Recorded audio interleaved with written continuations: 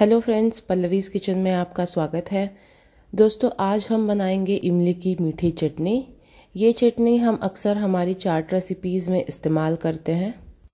ये चटनी टेस्ट में थोड़ी सी मीठी थोड़ी सी खट्टी और चटपटी होती है और इसे बनाना बहुत ही आसान है।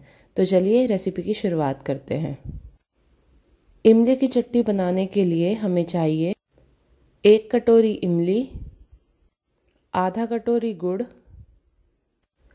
एक चौथाई कटोरी किशमिश एक चौथाई कटोरी छुआरे, जिन्हें हमें लंबा लंबा काट लेना है, एक छोटा चम्मच लाल मिर्च पाउडर, एक छोटा चम्मच जीरा पाउडर, आधा छोटा चम्मच गरम मसाला पाउडर और नमक स्वादानुसार। अब सबसे पहले हम इमली को भिगो के रखेंगे करीबन चार घंटे के लिए। ताकि इमली अच्छी मुलायम हो जाए और हम इमली का पल्प आसानी से निकाल सकें। इसी तरीके से छुआरों को भी भिगो के रख देंगे ताकि वो भी थोड़े मुलायम हो जाए। हमारी इमली को भीगे हुए चार घंटे हो गए हैं। अब हम इसे गर्म करने गैस पर रख देंगे। हमें इसे ज़्यादा गर्म नहीं करना है दोस्तों। बस पानी गर्म होने तक ही हमें इसे गर्म करना है ताकि इमली का पल्प आसानी से निकल जाए। तो ये पानी गर्म हो गया है और अब हम इमली का पल्प निकालेंगे। इसके लिए इस तरीके से छलनी लेंगे।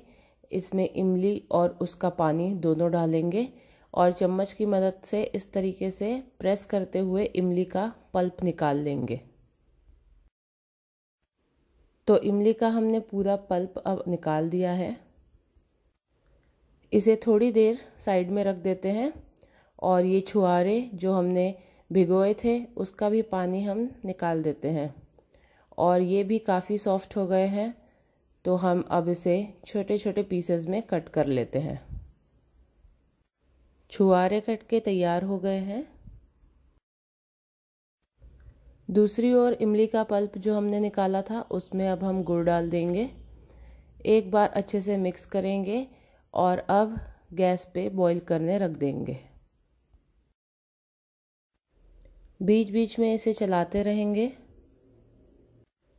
गुड़ अब अच्छे से इमली के बल्ब के साथ मिक्स हो गया है। तो अब हम इसमें किशमिश डाल देते हैं। साथ ही में छुआरे भी डाल देते हैं। थोड़ा उबाल इसमें आ गया है। तो अब हम इसमें नमक डालेंगे। इसके बाद लाल मिर्च पाउडर, जीरा पाउडर,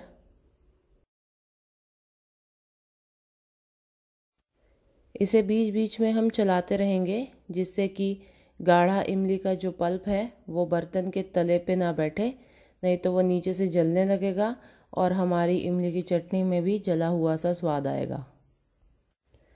अभी आप देख सकते हैं कि हमारा मिश्रण बहुत पतला है इस मिश्रण को तब तक उबलने देना है जब तक कि हमारा मिश्रण गाढ़ा होकर एक चौथाई न बच जाए। यहाँ हमें इस बात का ध्यान रखना है कि चटनी हमें बहुत ज़्यादा गाढ़ी भी नहीं करनी है, क्योंकि ठंडी हो जाने पर वो ऑलरेडी गाढ़ी हो जाएगी। इमली की चटनी हमारी बनकर तैयार है तो गैस की फ्लेम ऑफ़ कर देते हैं। इस चटनी के ठंडा हो जाने पे आप इसे किसी भी एयरटाइट कंटेनर में भरकर फ्रिज में स्टोर कर सकते हैं। इस चटनी की शेल्फ़ लाइफ काफ़ी लंबी होती है। आप इसे करीबन डेढ़ से दो महीने तक फ्रिज में रख कर आपकी किसी भी चाट रेसिपी में इस्तेमाल कर सकते हैं। तो ये इमली की चटनी आप भी बनाइए और मुझे कमेंट करके बताइए कि आपको ये रेसिपी कैसी लगी। मेरे चैनल को सब्सक्राइब ज़रूर करें और मैं मिलूँगी नेक्स्ट रेसिपी के साथ तब तक के लिए बाय बाय